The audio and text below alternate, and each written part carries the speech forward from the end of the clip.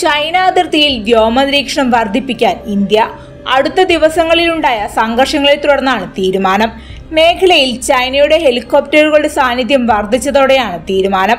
അരുണാചൽ മേഖലയിലും തവാങ്ങിലും ചൈനയുടെ സാന്നിധ്യം കൂടിയിട്ടുണ്ടെന്ന വിലയിരുത്തലിന് പിന്നാലെ കമാൻഡർ തല ചർച്ചകൾക്കുള്ള നിർദ്ദേശം ഇന്ത്യ മുന്നോട്ട് വെച്ചിട്ടുണ്ട്.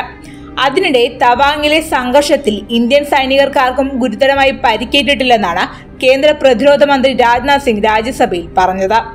ചൈനീസ് സൈനികരെ ഇന്ത്യൻ സൈനികർ തുരത്തിയെന്നും ഒരിഞ്ച് ഭൂമി പോലും വിട്ടു നൽകിയിട്ടില്ലെന്നും പ്രതിരോധ മന്ത്രി പറഞ്ഞു. യഥാർത്ഥ നിയന്ത്രണ രേഖ മറികടക്കാൻ ചൈനീസ് സൈന്യം ശ്രമം നടത്തിയെന്നും പ്രതിരോധ മന്ത്രി സഭയിൽ വ്യക്തമാക്കി. ഇന്ത്യൻ സൈനികർക്കാർക്കും ഗുരുതരമായി പരിക്കേറ്റിട്ടില്ല. ചൈനീസ് സേനയ്ക്ക് ശക്തമായ തിരിച്ചടി നൽകി. ഇന്ത്യൻ സൈന്യം തിരിച്ചടിച്ചതോടെ ചൈനീസ് സൈന്യം പിൻവാങ്ങി. നയതന്ത്ര തലത്തിലൂടെ വിഷയം ചൈനീസ് സർക്കാരുമായി ചർച്ച ചെയ്തു. ഏത് വെല്ലുവിളിയെയും സൈന്യം ചെറുക്കുമെന്നും രാജ്നാഥ് സിംഗ് പറഞ്ഞു. അരുണാചൽ പ്രദേശിലെ തവാങ്ങിൽ ഇന്ത്യൻ സൈന്യം ചൈനീസ് സൈന്യത്തെ നേരിടുന്നതിന്റെ എന്ന പേരിൽ വീഡിയോ സമൂഹ മാധ്യമങ്ങൾ വ്യാപകമായി പ്രചരിക്കുന്നു.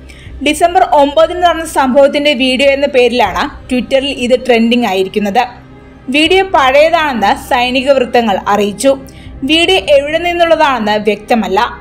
ഡിസംബർ ഒമ്പതിന് സംഭവം നടന്ന സ്ഥലം യാങ്സെ എന്ന പ്രദേശമാണെന്നും സാധാരണയായി ഈ സമയം അവിടെ മഞ്ഞുമൂടി കിടക്കുകയാണെന്നും വിദഗ്ധർ അറിയിച്ചു.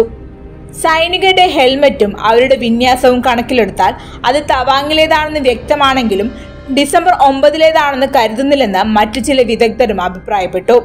എല്ലാ വർഷവും മെയ് ഒക്ടോബർ മാസങ്ങളിൽ തവാങ്ങിൽ ചൈനീസ് സേന എഴുപത്തെട്ട് തവണ അതിക്രമിച്ചു കയറാൻ ശ്രമിച്ചിട്ടുണ്ട്. നേരത്തെയുടെ വിന്യസിച്ചിരുന്ന ഇന്ത്യൻ സേനയുടെ എണ്ണം കുറവായിരുന്നെങ്കിലും ഇപ്പോൾ വർദ്ധിപ്പിച്ചിട്ടുണ്ടെന്നും ഈ രംഗത്തെ വിദഗ്ധർ പറയുന്നു. News desk Kalakaumudi.